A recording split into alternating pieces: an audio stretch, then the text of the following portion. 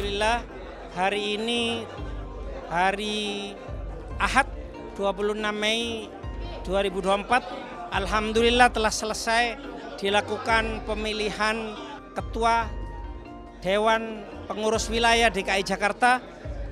Prosesnya Alhamdulillah berjalan dengan lancar. Musyawarah ditentukan berdasarkan perwakilan dari DPC masing-masing.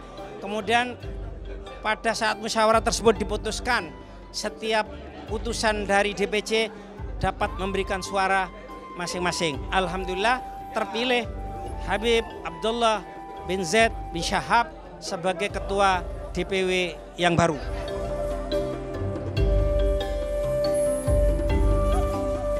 Terakhir yang terakhir.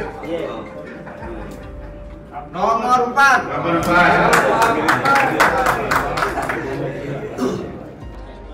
Masya Allah, tabarakallah, mereka sudah memilih dengan eh, sangat-sangat kondusif ya. Kemudian pilihan insya Allah menjadi pilihan yang tepat.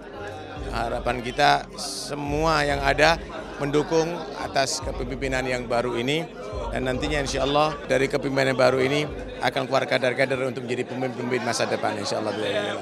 Kita husnudhan itu semuanya insya Allah. Alhamdulillah pada hari ini Al-Fagir terpilih uh, untuk menjadi ketua uh, DPW Robita Alawiyah tingkat DKI Jakarta.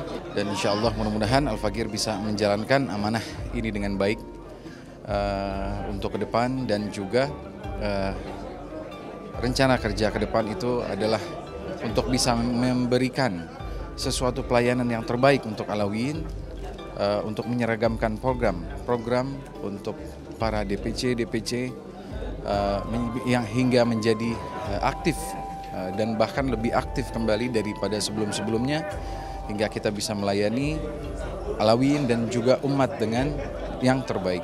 Dengan ini berita acara musyawarah wilayah DPW Robito Alawiyah DKI Jakarta telah terpilih Syed Abdullah bin Zaid Syahab. Dengan ini kami stempel, kami, kami nyatakan secara resmi.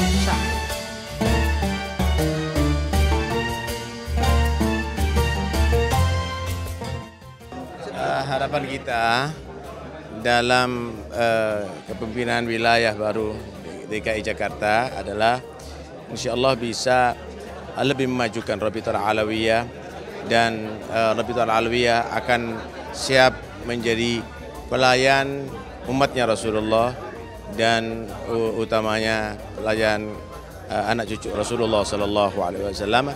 Mudah-mudahan insya Allah ini semuanya dengan niat yang baik Allah akan mudahkan segala harapan kita semua. Amin.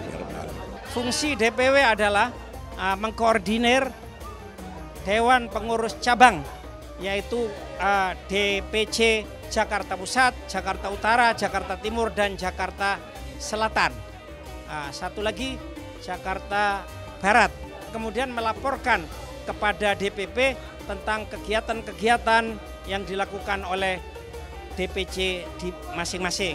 Yang paling utama adalah harapannya mudah-mudahan dibentuknya DPW baru ini uh, seluruh kegiatan yang ada di DPC semakin meningkat dan bila perlu diharapkan supaya bisa kegiatan yang ada baik secara kualitas maupun kuantitas bisa menyamai syukur-syukur uh, bisa uh, melebihi kegiatan-kegiatan dari DPC yang ada. Apalagi dari semua calon tersebut telah menyampaikan programnya masing-masing termasuk adalah mempersiapkan adanya klinik di wilayah DKI Jakarta di bawah Robito Alawiyah DPW DKI Jakarta.